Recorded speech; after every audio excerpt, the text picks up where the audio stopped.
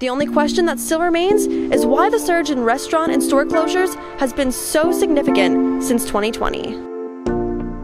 Tonight, Officer Stoles will be reappointed as chief of the Caernarvon Police Department. Among his plans for the station, he hopes to add additional officers onto the force. Changes to the Allentown School District are underway as the current superintendent Thomas Parker's last day will be this Friday. The new interim will begin next week, but the biggest question posed is when this permanent position will be filled.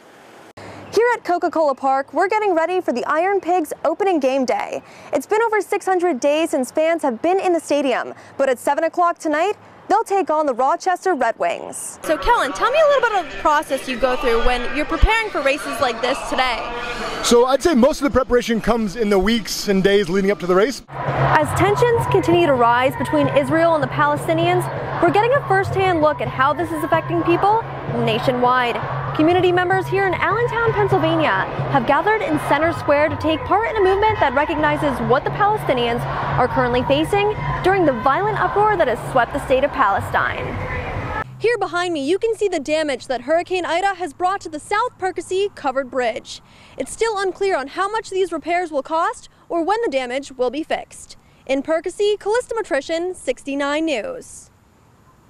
Here behind me, I've got the exact spot where NASCAR racers are getting their cars prepped and ready for the big event here at Pocono Raceway. Adding to their series of cultural masterpieces, the Allentown Art Museum is welcoming one of their latest installations, Japanese Textiles in the West, a series that features gleaming gold threads, handcrafted designs, bold embroidery, the rich history of Japan's textile traditions, and their connection to Western collectors.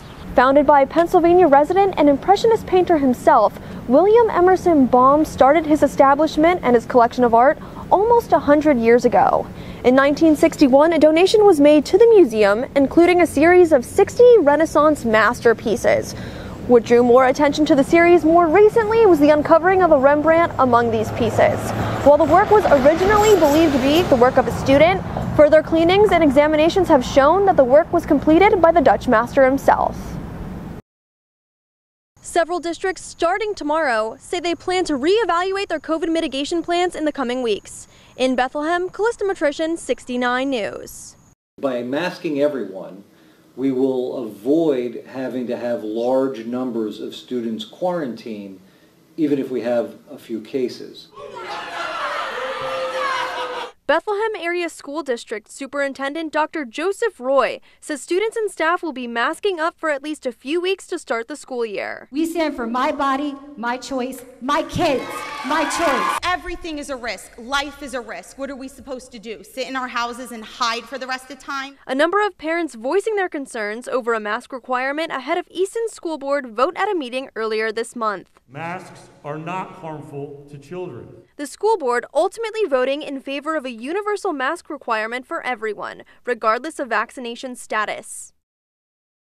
We're experiencing, obviously, a global pandemic, and um, children are not only dealing with those normal um, back to school anxieties, but in addition, they're dealing with potentially pandemic related stressors. Centenary University Associate Professor of Sociology, Dr. Tara Veerman says there are ways to identify early signs of stress in students. Can certainly range from, you know, just simple fear of the pandemic, getting sick, um, you know, pot- potentially loss of family members, uh, financial stressors within the family. She also tells us in many cases, these stressors will vary depending on age.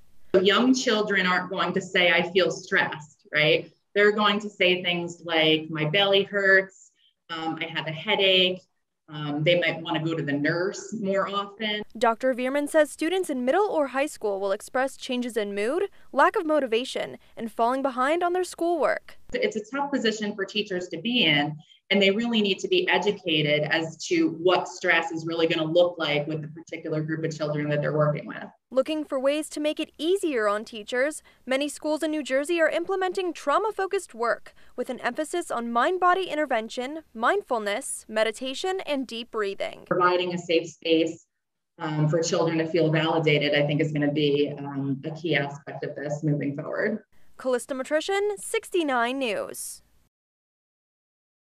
Days after the aftermath of Hurricane Ida, a Macungie neighborhood is still dealing with the effects. To, to get internet, I have to go down to Weis Market. Rhoda Burney describes what life has been like inside the Mountain Village community for the past several days without power.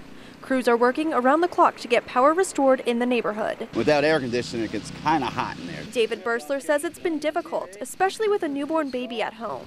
This massive tree just tipped over like it was a matchstick.